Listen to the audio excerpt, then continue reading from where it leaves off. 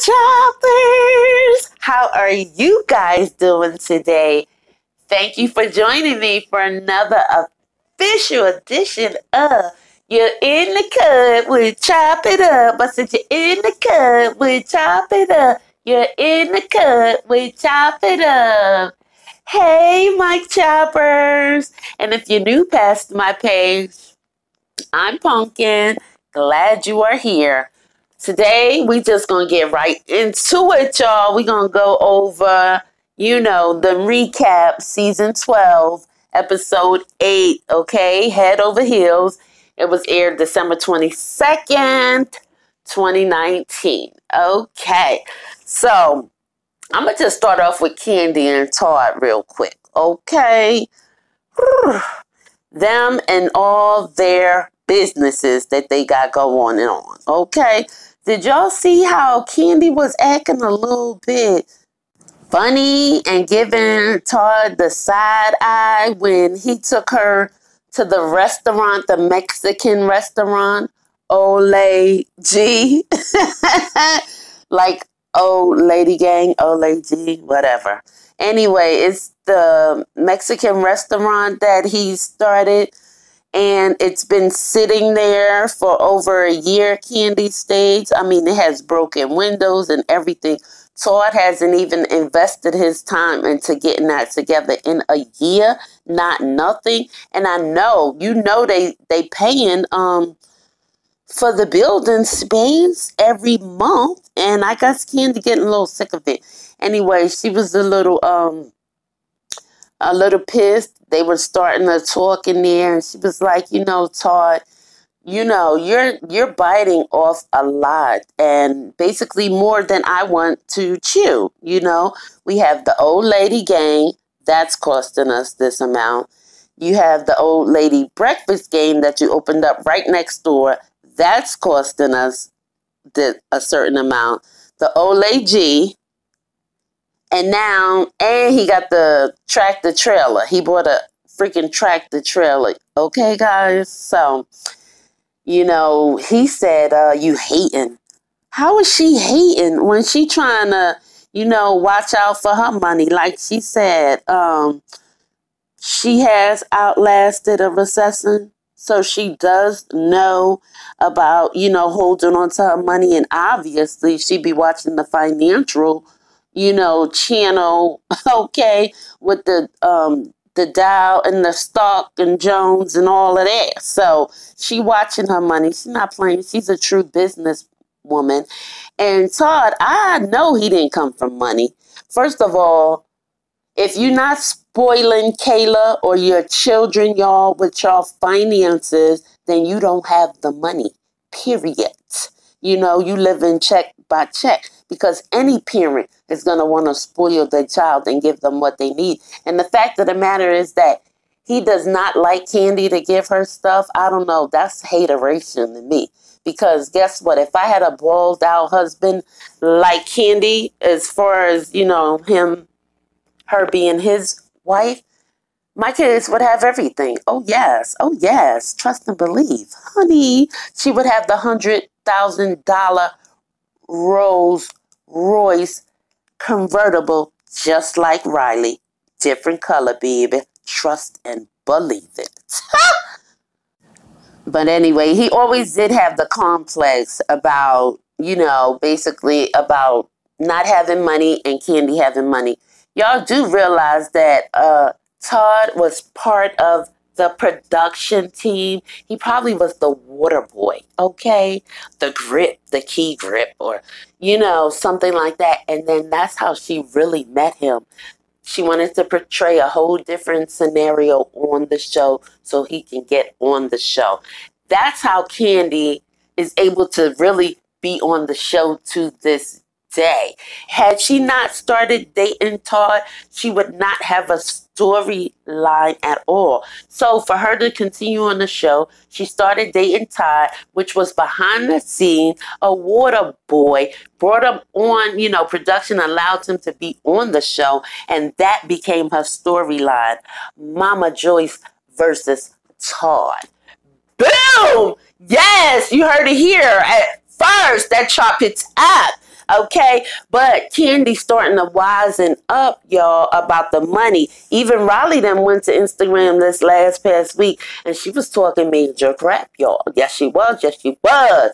Okay, um, the live is down now, but um, she was talking boo boo crap about her mama and Todd, really, not her mama. But anyway, um, so Kandi, I guess she getting a little sick of it, and she's like, "Yo, um, I'm not finna just keep throwing my money out there like that." And basically, all she wanted was a date. I guess that's how he looked at it. She just wanted to go out and she just wanted to date. So now she tripping on him about the businesses. He need to take that woman on a date. You worried about this, that, and the other.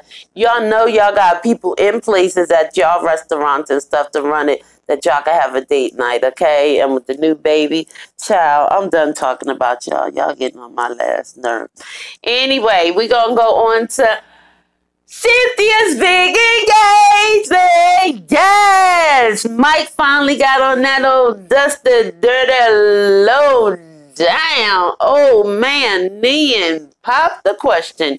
He was at the jewelry store picking out all these rings. He found the one he liked.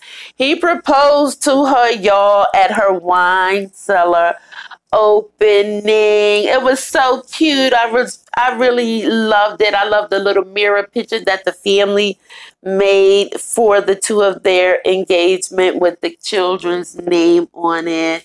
And y'all know it had to be a little bit of drama at the wine cellar opening, honey, after the you know before the engagement. Marlo brought in the drama. Okay. First of all, before we get into Marlo bringing the note in from Nene to Cynthia. Just check out her outfit, y'all.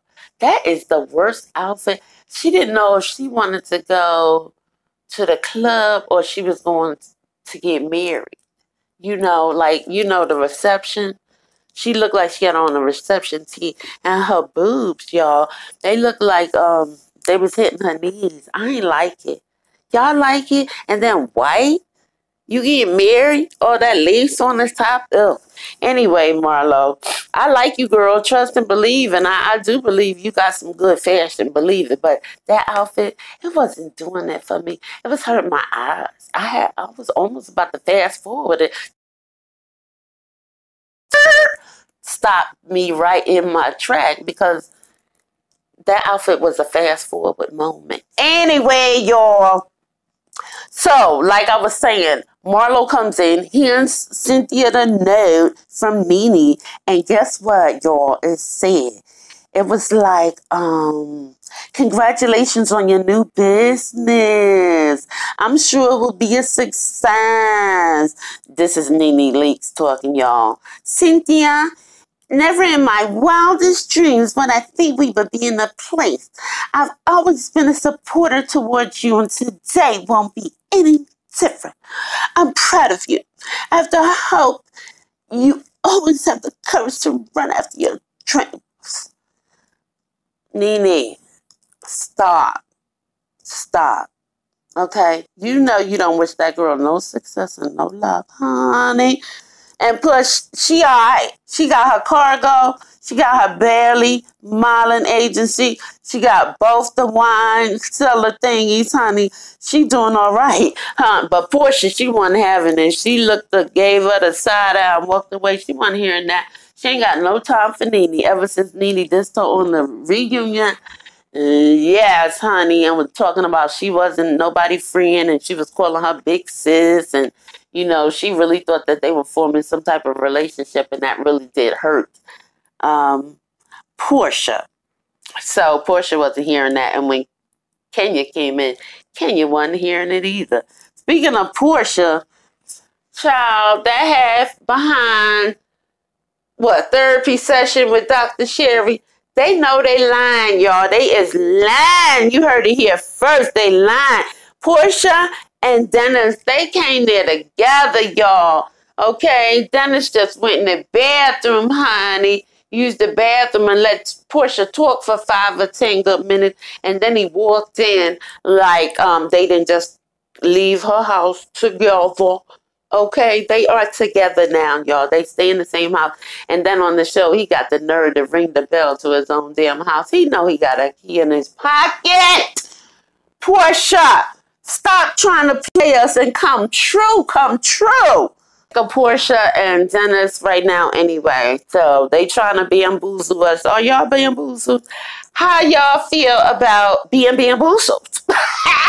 anyway, y'all, um, tell me what y'all think about Porsha and Dennis. And once again, congratulations, uh, Cynthia and Mike. What y'all think about that note? Because to me, it was underhanded shady, under, honey, under the tree shade, honey for Nene to send a note and bring those crusted behind um, snacks that they propped up on boxes, okay, and linen, honey. I ain't like it. I ain't like it at all. But anyway, um, might have been something I would have done. Anyway, don't forget to subscribe to your girl. Once again, thank you for joining me at In the Cut with Chop It Up. I said you're in the cut with Chop It Up. You're in the cut with Chop It Up. I see y'all around for something. Bye, baby.